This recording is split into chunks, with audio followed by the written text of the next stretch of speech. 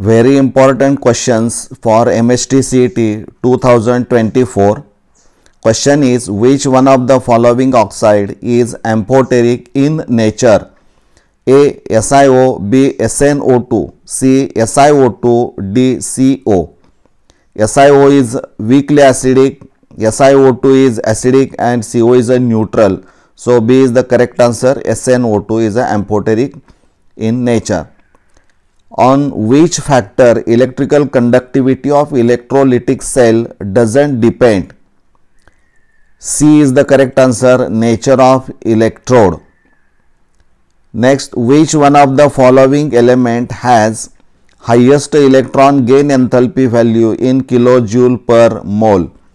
Here correct answer is the C fluorine and decreasing order is like decreasing order is like this fluorine then bromine sulfur and last is a argon.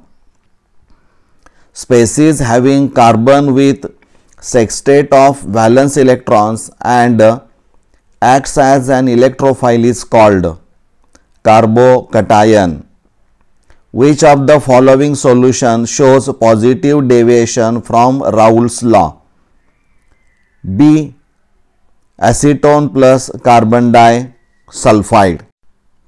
Adsorption principle is used in options distillation, chromatography, differential extraction, vacuum distillation. Correct answer is a B chromatography. In which of the following molecules the central atom does not have sp3 hybridization SiO2, H2O and NH3. These three have sp3 hybridization but SO2 it has a sp2 hybridization. So C is the correct answer. How many of the following can be used as electrode in batteries? lead, zinc, graphite, zinc mercury amalgam. So, out of these all are used as electrode in batteries. So, answer is a 4. Which of the following is most likely attacked by electrophile? Means positively charged species can easily attack.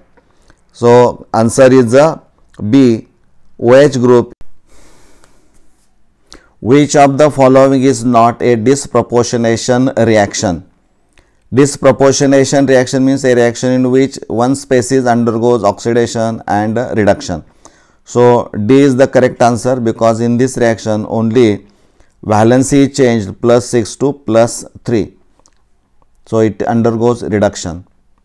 For ionic reaction in organic compounds, which type of cleavage occurs? generally heterolytic cleavage is uh, takes place.